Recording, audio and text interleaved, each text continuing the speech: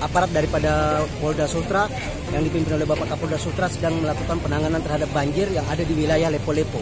Yaitu uh, kita lihat di sini ini merupakan uh, imbas daripada meluapnya Sungai Wanggu yang ada di Lepo-Lepo. Ketinggian saat ini sudah kurang lebih mencapai 2 meter.